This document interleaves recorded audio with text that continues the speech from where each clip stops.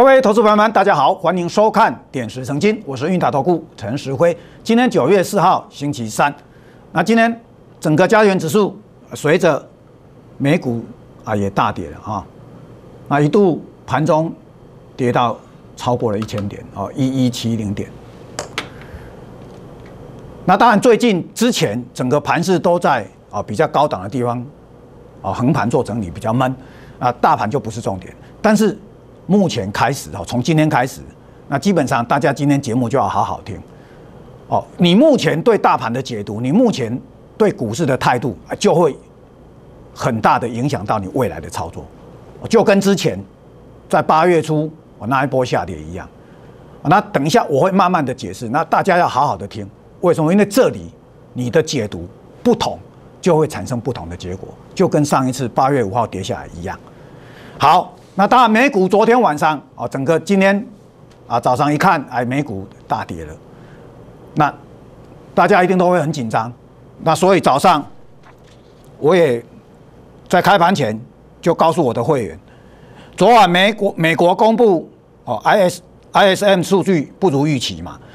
而且辉达又传出遭到美国司法部反垄断的调查，这些种种不利的因素导致美股全面收黑，纳斯达克大跌了三三趴多，费城半导体甚至重跌了七趴多，而辉达个股甚至跌了快要十趴。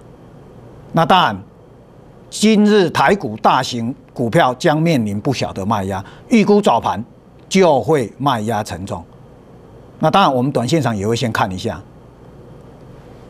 预计在这一个范围内会有短线买盘支撑，所以也不用过度的恐慌。啊，这个就是一早，当然我的会员朋友们，大家看到美股这样，当然大家也会紧张。那当然，我讲过嘛，我这些看法我也会在 Lite 上面哦，尤其是像今天比较紧急的状态，马上我在早上一早。九点零六分，我也告诉大家，近期台股量缩维持高档震荡，筹码上法人卖、融资买是比较不利的因素。那美股的大跌，短线上虽不利台股多头走势，但也能让最近很黏的台股走势更加明朗化。实物的操作就是这个区间呢，会有短线的支撑。那大盘只要一跌到这个区域，就会有积极的买盘进场，所以先。不要预设说啊，是不是这样一跌就要破底了嘛？对不对？我们来看，是不是今天是不是一跌，大家就要告诉你是不是要破底了嘛？那我也在这里清楚告诉大家，实物上你先不用去预设嘛。但是实物上今天跌到这个区域，基本上它就会有短线的买盘会进场，是不是？那今天今天最低点在哪里？二零九二二嘛，对不对？就在这个区域里面嘛。你在这个区域里面，你就不要杀低了嘛，股票就不要杀低了，因为他们短线的买盘就会进场。好，那今天整个盘势开始有比较大的变化了。那我们要怎么样去解读未来的盘势？那刚刚我给大家看过嘛，就是我认为目前在这里，它有一个短线的支撑区。那我也不认为是不是一下子又会弹回来，但是最近的盘势可能就在这里测试这个短线支撑区。哦，为什么？其实基本上从上次从上次反弹上来，我就告诉大家，基本上这里整个盘面到这里了，它会有反弹上来的卖压，还有。套牢没有卖，然后反弹上来的整个解套卖压，但是前一阵子盘势真的很厉害，就在这里做高档震荡。那当然一有风吹草动，它还是容易往下掉。但是在这里，你也不要因为这一根，你就一定预设说它又会破这个底，又是 A、B、C。啊，我常常讲务实操作，客观分析。那目前来看的话，短线上这里确实会有一个短线的支撑区。那你空手的，其实空手的人基本上你在这里，你就可以进入这个区域，你就可以分批做进场。坦白说，今天如果你空手的，今天进入这个区域，你下去做布局，确实很多股票马上弹上来。这个就是在这里操作上，你就要开始注意了。那当然，这一阵子在这上面的时候，在这上面，我认为它这在这上面闷，你不用注意大盘。但是，我也一直强调，你股票我们谈口口堆，不要上涨的时候才想追。那所以，我今天也在车票上告诉大家，大盘回档其实才是才是最好的买点，尤其是好的股票，因为它为什么它变便宜了嘛？那当然，在整个迹象来看的话，我们也不要去预设说你是不是一定会跌破这里。为什么？因为坦白说，当初在那个的时候，很多情势没有明朗，包括日元也好，好，包括整个我们国内很多公司的下半年的业绩究竟如何也没有明朗。那包括辉达的业绩也没有明朗。但现在其实啊，基本上当然，辉达啊。美国司法部要调查嘛？它股价跌，那当然其实也算正常，并不是因为它业绩不好跌的。那所以，我今天才会特地告诉大家，在这里务实的操作怎么操作。如果说你现在手中有股票的，那你就你进入这个支撑区，你千万就不要杀低啊！甚至呢，你还可以酌量哦，等它稳定了之后，适度做加码，它还是会。有机会回来再再来挑战极限，但是你你因为你手中已经有股票了，你就等它啊稳定了啊，我们再做进场啊，这是第一种情况。第二种情况，你如果空手的，是不是你之前在这里你一直空手在这里错失了这一次机会，你在这里你就要好好把握机会了。在这里操作就是这样。那我在这里我一样不建议啊，你从做空的角度来看。为什么？因为从整个基本面的因素来看的话，没有理由，没有太大的理由啊。这个叫做客观分析啊。你看嘛，上一次八月六号的时候，我是不是也是这样告诉大家？我已经在布局了。我还特地在节目中告诉大家，我已经在布局了，是不是？上一波嘛，八月六号这一天嘛，对不对？那我现在一样告诉你，哦，你究竟要怎么样的做操作？那当然，会员朋友们，我一样会帮他做斟酌。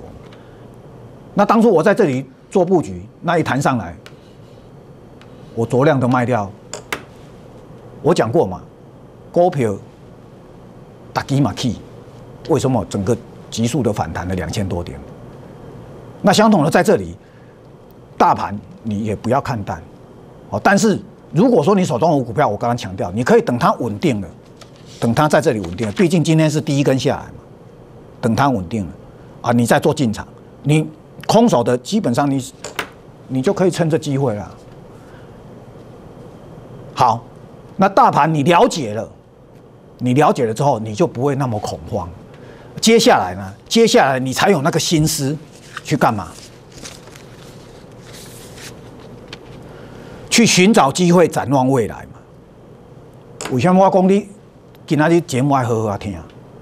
你一恐慌了，对不对？早上不管三七二十一，故意该不会掉，盘弹上来了。待会我让你看，很多股票都弹上来了，不是有很可惜的吗？就跟当初对不对？当初八月六号，我为什么在节目中特地告诉你？也是因为这样啊。你若当初杀在这里，你股票杀在这里，多可惜啊！你这一次不要再犯这个错误啊！那当然，我自己我我也常常讲，基本上我带着会员是客观分析，然后呢务实操盘，所以我没去斗。我在之前在这里确实啊，我是带着会员做多的，但是我告诉大家不要用追的，然后去布局一些好股票，特懂啊！即使今天这个盘一度跌了一千点，很多股票其实没有。没有跌得很深啊，待会我会再展示给大家看。就得像就得是你务实操作。好，那接下来当然重点来了，你被安娜布局股票。啊，当然，你如果今天一早很恐慌，你不知所措的，哦，我都欢迎大家啊扫描我 Q R code。刚刚大家有看过嘛？我一早我也是很关很关心我整个赖上面的好友嘛，所以我一早就发了一个讯息嘛，让大家了解说，其实这个盘你千万不要一早一下杀你就杀低了嘛。啊，所以欢迎大家啊，随时扫描 Q R code 啊，来加入我的 line。好，那接下来个股，那大家昨天有看我节目的都知道嘛，掌握的供，其实红海的股价已经有一点委屈了。那当然，目前筹码的问题啊，包括外资美股大跌，外资还是会卖嘛。啊，红海毕竟是大基的股票嘛，但是大家有没有发觉，红海就是很强啊，跌下来就有人买啊，是不是？那当然，红海做布局，就像我刚刚讲的，上一次大跌的时候，我就有进场做布局嘛，啊，我也告诉大家理由嘛，对不对？我说要布局两批嘛，对不对？那八月四号又跌一次嘛，你看。那时候一度就是跌到一百六，甚至最低点在一百六十一。那但是最近你要叫它跌到一百六十几，真的不容易啊。五香米，哦，待会我会慢慢告诉你五香米。那现在目前红海今天，大家仔细看哦，又来了哦，我又画一条线哦，又来了哦，机会又来了。它有四大利多，股价真的相形委屈了。这个就是为什么红海今天在四大天王，在 F 四里面，它就是相形很强。它股价一低，就有逢低承接的买盘了嘛？五小米大概拢怎样？你俩唔怎样？我现在讲给你听。基本上红海法说会他就讲过，他上半年今年。整个上半年是优于预期的哦，三率三三升嘛。那下半年呢？其实他认为会更好，而且红海向来下半年就是旺季，所以我们整个合理预估呢，其实它 EPS 在十三块，股价在一百八十附近的话，本利比很低耶。再加上我最近强调的，红海有四大利多，哪四大？第一个 AI 代工部分。啊，AI 代工部分，红海在华硕会上也有讲的很明白嘛。不管辉达的啊两百的进程如何，它一百的需求很大，所以整个 cover 过去，所以整个 AI 代工在今年下半年还是相当的旺。昨天刘阳伟先生他参加会议的时候也是啊，他认为下半年的景气还是这样啊。好，这是第一点。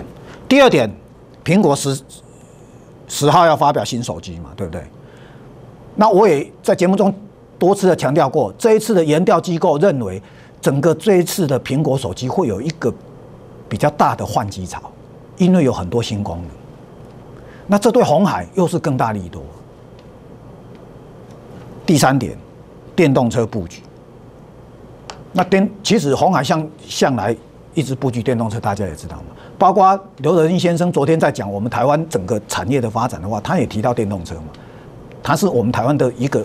利多的产业嘛，那红海整个电动车布局其实啊也算有一定的时间了。那他他在今年啊，在这个下个月十月八号的时候，他科技日的时候，预告片都出来了嘛，他又有新的电动车要发表，而且刘阳伟先生啊积极的到东南亚，包括前一阵子到印度，当然也都有谈及电动车的布局。那为什么电动车这个也是利多？因为整个它的毛利率就在接近二十趴。刘董事长之前他在发展电动车的时候，他就多次强调，他不但要维持，甚至要让红海的营业额逐步往上走。但是红海现在营业额真的很大了，接下来他最重要的工作是要提升红海的毛利率。电动车就扮演一个很重要的角色，一个。接近二十趴的营业额，如果能够占比越来越大，对红海当然是有相当大的注意，对不对？好，接下来第四点，最近黑神话悟空不是很夯吗？对不对？他就把整个游戏产业都拉起来了嘛。那红海本身是 Sony PS 五的主要的代工厂，那再加上 Sony 本身又要推出强功能强大版的 PS 五 Pro，那相信也会带动一波换机潮。这对红海都是多余的利多，所以红海相形之下，股价很强啊，也就符合我告诉大家的，整个大盘下跌，红海就是你布局的好时机啊。那怎么样做布局？当然筹码的问题啊，基本面是一回事，那筹码股价会受筹码的影响啊，当然也是现实。那你不懂得布局的，我都欢迎大家啊，随时打电话进来跟着我做操作啊。红海我随时都有在关注。好，那接下来还有一些个股啊，我之前也都在节目中提及过，在今天还是很强的，包括台阳。那我也讲过嘛，台阳之前是因为它整个行动产品有问题嘛，所以它整个。上半年的出货确实不顺，但下半年开始正常，而且明年这是公司表示的，明年明显成长，而且台阳在 All Run 本身的无线射频的产品已经打入了全球二十八家的营运商，而这个 All Run 的无线射频的产品，未来八年内会有十倍的成长，那整个台阳其实在这个市场是全世界第三大。这个对台阳未来贡献会非常多。那当然，我也告诉大家嘛，整个当然它股价谈到这里了，他会先说休息嘛，是不是？那像这种好股票，你要怎样？你要趁低做布局。所以我是趁着它低点的时候做布局嘛，二十七块多的时候做布局嘛，对不对？那当然布局完之后，它马上就攻上去了，哦，攻了一只涨停板，再续涨，对不对？那最近整个啊稍微回档了，那都无所谓啊。你看嘛，它还是很强的拉上了。你看它今天嘛，跌三趴多嘛，很多。其实这里股票很多。那下半阶段我还要告诉大家，在这里基本上你如果空手的，或是说你还有很多筹码的，那基本上你不但不需要杀低，有一些未来性的股票。其实反而你可以在这里捡便宜，那一布局了，其实反而很容易啊，股价就往上涨。那机会在哪里？当然我下半阶段要告诉大家。好，我们先休息一会儿，下半阶段再回来。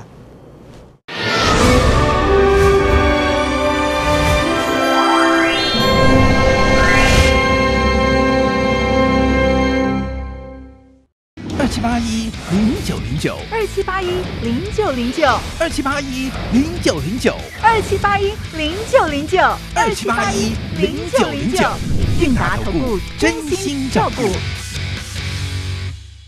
韵达投顾成立于民国八十四年，是一家政府立案合法运作的投资顾问公司，拥有证券及期货双执照。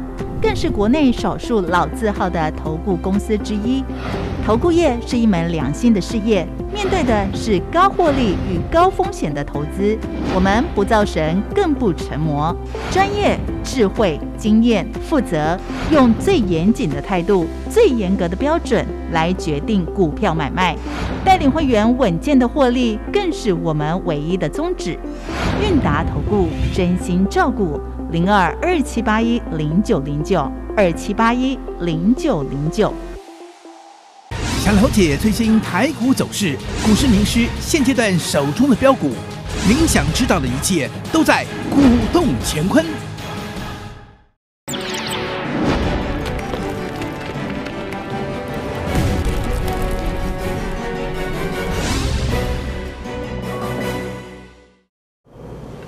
好，欢迎回到现场。那刚刚我讲过，其实在这里如果逢低做布局的话，八月份的业绩也要公布了嘛，啊，甚至整个下半季如果它是旺季的，那逐月整个业绩都会往上升的。其实这些股票就是你现在捡便宜的好时机。那哪类型的股票呢？像我常常提过的车用 PCB 嘛，哦，尤其是整个车用 PCB，它未来它整个就会这些高阶的 PCB 板会来取代。啊，尤其是最近啊，包括大陆的比亚迪，整个又把自动驾驶整个风潮又带起来了啊，包括马斯克先生，他是不是要组机器人车队嘛？对不对？特斯拉要组机器人车队，那这些都要自动驾驶啊。自动驾驶的话，它就需要这些高阶的板子。那目前这些高阶的板子，其实你看嘛，H H D I H D I。基本上这个板子它的占有率还很小，那这对这些 PCB 板的厂商有什么意义？毛利高啊，甚至有一些重要的板子，它的价价格定价是十倍以上，原来的十倍以上。再加上整个车用 PCB 板下半年本来就是旺季的，而且这些个股呢，基本上都有 EPS，整个本利比都低，好，包括电影投控，你看嘛，它整个全年 EPS 合理预估五块钱嘛，现在股价才多少，对不对？三七一五，六十出嘛，对不对？所以它今天也跌不下去嘛。加上其实它整个也都在这个平台上面而已嘛。啊，包括二三五五的进鹏也一样嘛。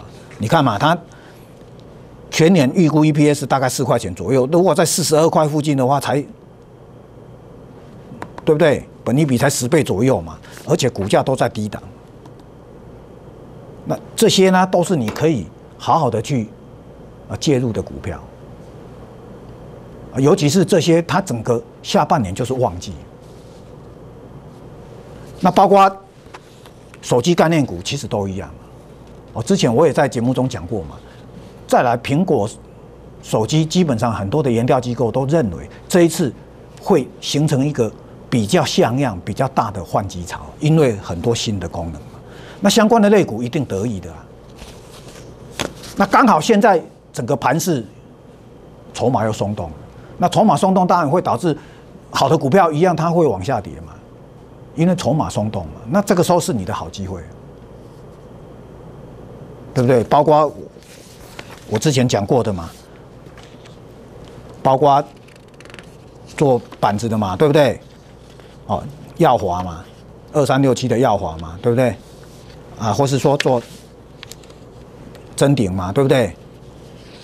啊，真顶是做软板的嘛，T P K 嘛，做触控的都一样嘛，这些都有机会嘛。那甚至包括像我讲过嘛，折叠手机，对不对？三星也在同一，不是三星，华为本身也要在同一天，就是十号，苹果手机发表的同一天，它要发表折叠手机。那所以折叠的轴承，好像照例。基本上你也都可以注意，哦，这个就是这里的机会。那另外呢，另外我也讲过，细光子基本上它还是一个未来的产业，所以你还是要注意。厂商也都成立了一个，昨天嘛成正式成立了产业联盟嘛。那当然细光子很多，有很多股票涨高了。那我也在这里提醒大家，基本上。像光收发模组这些公司，你看它的业绩就是下半年会越来越好，这个是重大，这个是华星光，对不对？所以呢，所以你看嘛，它今天的股价也是有没有？五香米要降嘛？所以在这里基本上你要你要懂得好好布局的话，盘势虽然一度跌了一千多点，但是很多个股其实反而是机会。那当然，整个大盘怎么做解读？我刚刚也讲过，哦，整个大盘基本上，你在这里的话，基本上它在这里会有一个支撑区嘛。我刚刚有讲过嘛，啊，你在这里你就不要做杀低，那甚至呢，你可以做分批的做布局。但是重点来啊，我刚刚讲过，最近有一个筹码的问题，就是最近法人在卖，但是融资一直增加。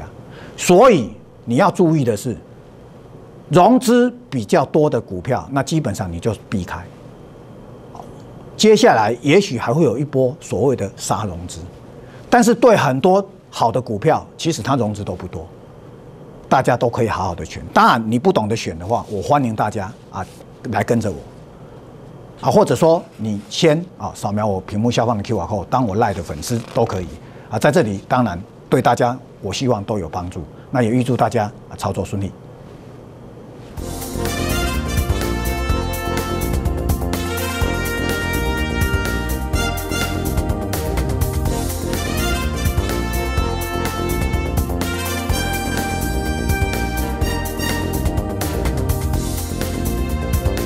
本投顾公司与所推荐分期之客也有家证券无不当之财务关系，以往之绩效不保证未来获利。本节目资料仅供参考，投资人应独立判断、审慎评估并自负投资风险。